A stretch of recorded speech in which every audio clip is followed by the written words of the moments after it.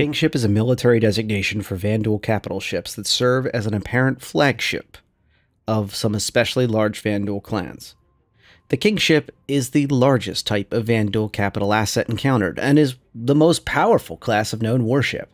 Functionally, a Kingship is a dreadnought, fleet carrier, command and control ship, and assault transport combined into a single hull. They are very rarely seen and have only been observed during large scale Vanduul raids. When present, they operate with a large number of other craft, including ships of the line, support vessels, and even screens of skirmishers. Xeno anthropologists believe that the possession of a kingship is a powerful symbol of Vanduul martial culture signifying a clan's power and strength. While the method of the kingship's construction is unclear, based on scans of the ships and evidence collected from raid sites, they seem to have been built in zero gravity environments with the aid of advanced technology. Kingship silhouettes can differ from clan to clan, suggesting that the ships are either custom made or modified by the clan in possession of it. Clans may add weapons, armor, modules, and other pieces to the base ship as they conduct raids and grow in martial prowess. Kingships have likely been in service for centuries, though their discovery by the United Empire of Earth, UEE, is relatively recent. The UEE first encountered a kingship on February 18, 2712, during the Vanduul invasion of the Orion system. The kingship in question surprised Orion's defenders and immediately turned the tide in the favor of the Vanduul, forcing the UEE Navy to retreat to the Tiber system next door. The Vanduul did not continue their raid beyond Orion, Instead, the attacking clan kept the ship in question in orbit of the former human colony for over a year as it gathered resources. On July 7, 2884, a clan led by a kingship slipped past the Caliban system sensor beacons and sparked the fall of Caliban, resulting in both the loss of the system and the UEE's 88th Logistics Support Squadron. The kingship returned and re entered Vanduul space shortly after the end of the battle. In 2940, the UEE Navy severely damaged a kingship as part of Operation Unilateral Force, a covert military operation that intended to weaken a single Vanduul clan and inspire infighting in the hope that it would distract them from raiding human colonies. Though the overall operation failed to have an expected impact, the 78th Squadron succeeded in inflicting heavy damage on a kingship. A kingship did not appear in human space again until October 5, 2945. In the Battle of Vega II, the Navy's Second Fleet, led by Admiral Ernst Bishop, engaged the kingship and the remaining clan.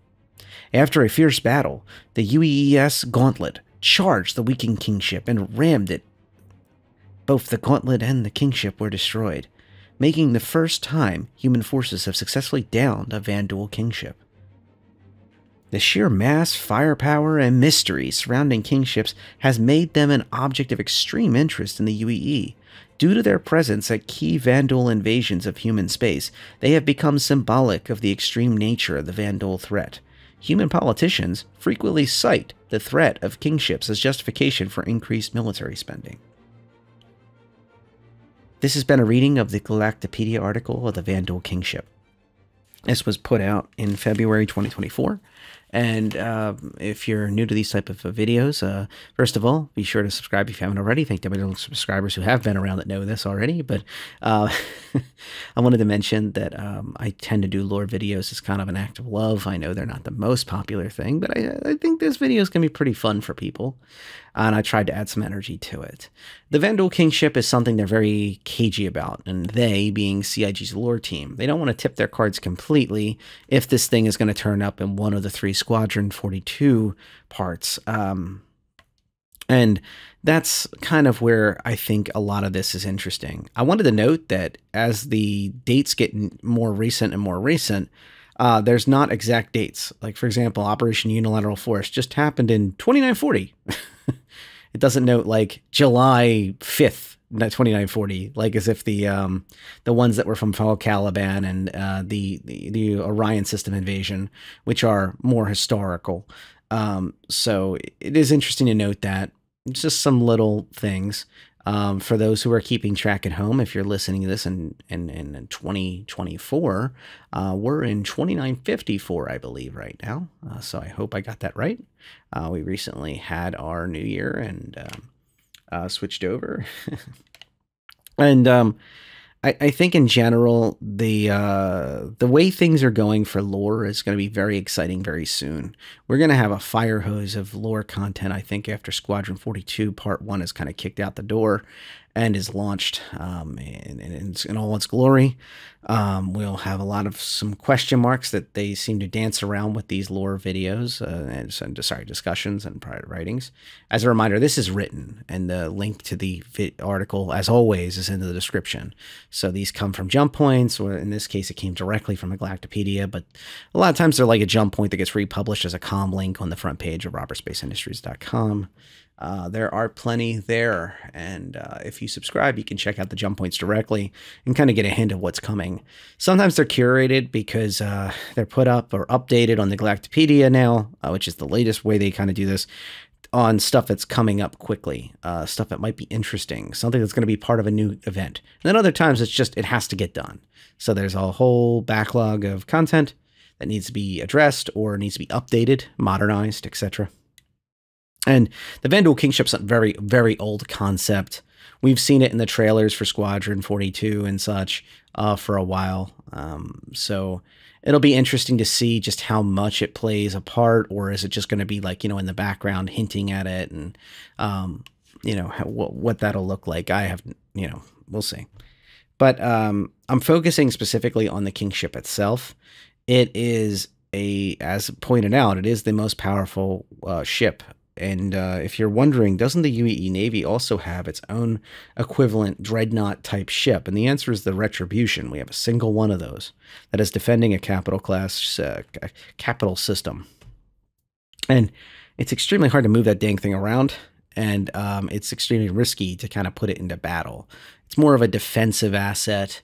Uh, there's debates about whether or not it, it in in the community, we debate about whether or not it's going to become a plot point to be destroyed or attacked, or or, or, or the bad, you know, Vanduul or somebody convinced by the Vanduul to work for them will try to use it against us, and then that's a plot point to try to disable it, so then the humans can take it back, the UE Navy can take it back and uh, make it work. But for now, um, it is it is the most powerful thing that the UE Navy has.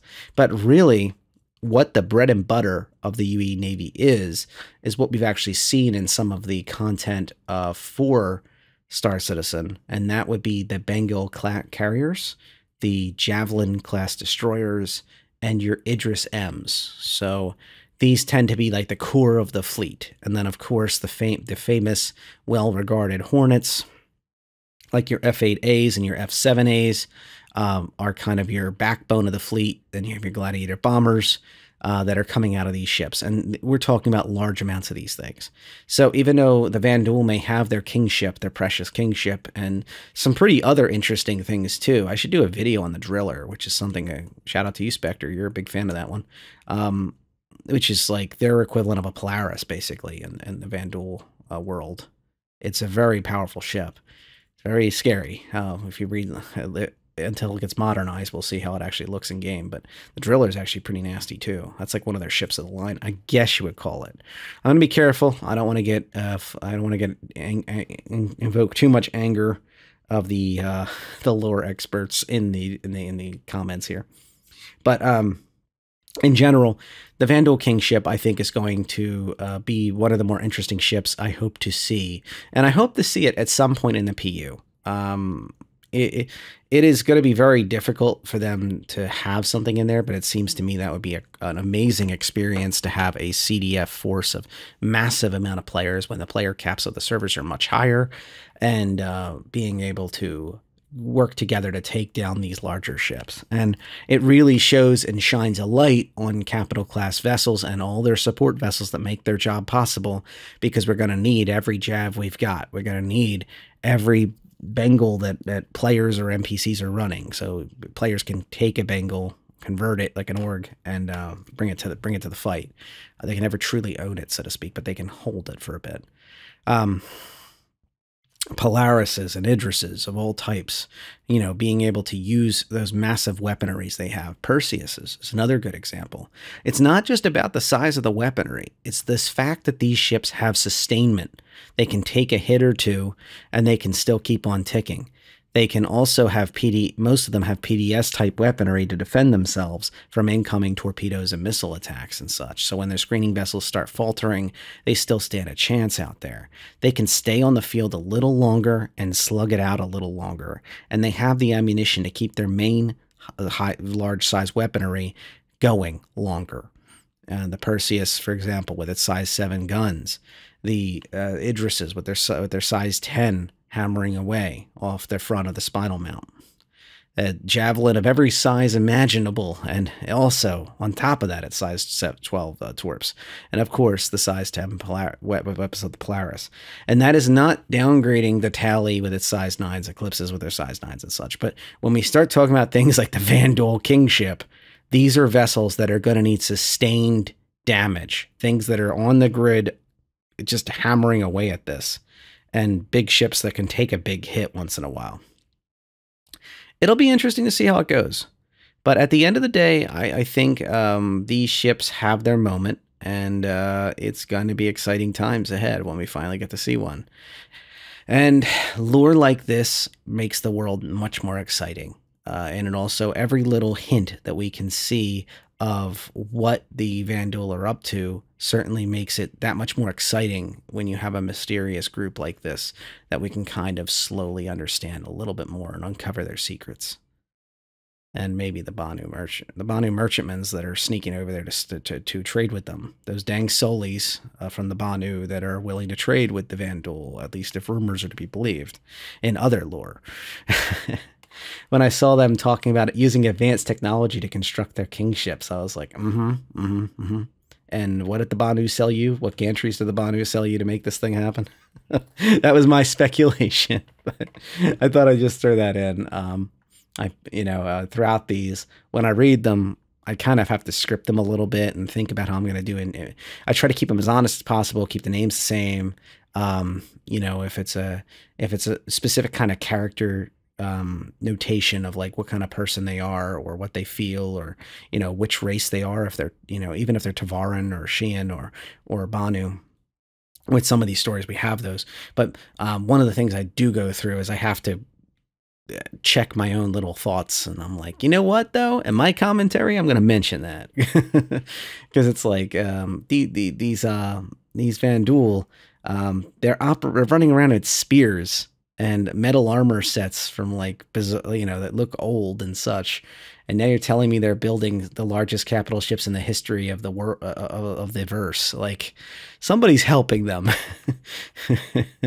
Or there's a smarter um, there's a smarter mind at play that they operate from.